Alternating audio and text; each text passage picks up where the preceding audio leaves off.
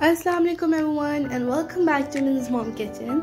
Today my mom is going to make the delicious Laziza Rasmalai. It's quite delicious and creamy and you can feel the flavor of the milk and the cream in it. So do try this recipe in your, recipe in your home and tell us in the comment box about it.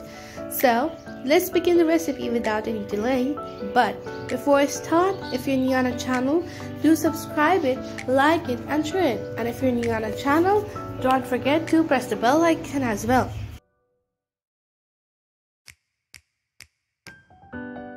So over here we have taken the laziza rasmalai. Then we're gonna pour it into a bowl. After that, on the other hand, we're gonna take the fresh milk, one and a half liter, but open uh, with one cup water and bring it to boil.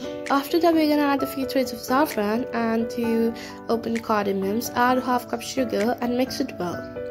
Now we're gonna add the 5 teaspoon cooking oil on it and mix it well.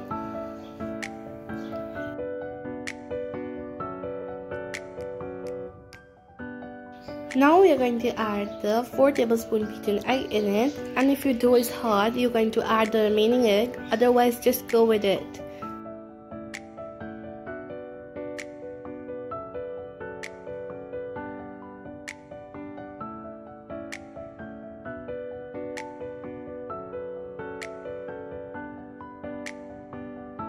The dough was a bit sticky, so just my mom uh, placed it in another place. Now we're gonna grease our hand with the oil and make small balls of it. So we have totally made 12 balls of it. You can also make 18 balls, 28 balls, 13 balls, or any other amount of ball you want to make. It depends upon your family members in your home.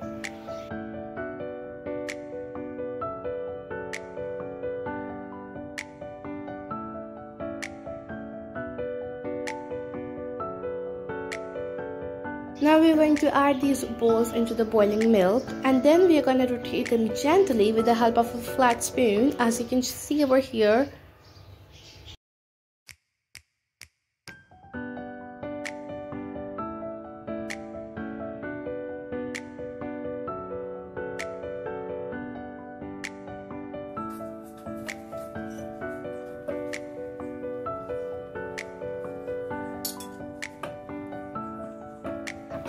After 7 to 8 minutes, a size gets double and then after it's double, you're gonna turn off the flame. So let's dish out it right now.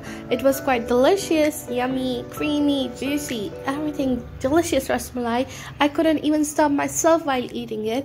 It was too much delicious. And after that, you're gonna put them into the freezer so that you can enhance the taste of the rasmalai. You can also garnish them with the pistachios or almonds or any other dry fruit you want to use alright so over here our recipe ends so let's see in the next recipe. But before i leave i must request you all that if you like this video just give it a big thumbs up. Allah hafiz